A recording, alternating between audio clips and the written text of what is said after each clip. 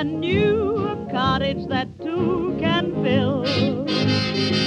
And we'll be pleased to be called the folks who live on the hill. Someday we may be adding a thing or two, a wing or two.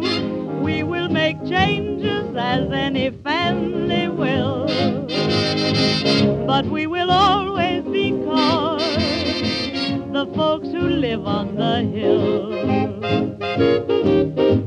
Our veranda will command a view of meadows green, the sort of view that dreams to want to be seen.